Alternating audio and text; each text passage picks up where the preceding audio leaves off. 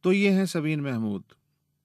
ان کی متحرک زندگی کے کئی پہلو ہیں، مگر ان کا عمومی تعارف دی سیکنڈ فلور یعنی ٹی ٹو ایف نامی وہ کیفے ہے جو سبین نے گیارہ برس پہلے قائم کیا۔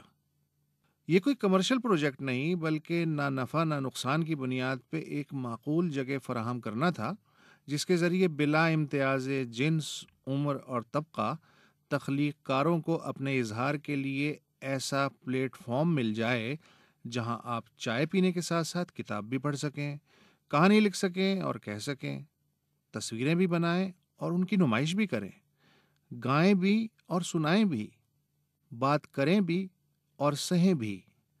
غرض اپنی تخلیقی صلاحیتیں اجاگر کرنے کے ساتھ ساتھ دوسروں سے ملیں جلے بھی۔ سبین، ان تمام سرگرمیوں کا محرک ہی نہیں، محور بھی تھی۔ جان ایلیا کی طرح سبین کا بھی خیال تھا؟ ایک ہی حادثہ تو ہے، اور وہ یہ کہ آج تک بات کہی نہیں گئی، بات سنی نہیں گئی۔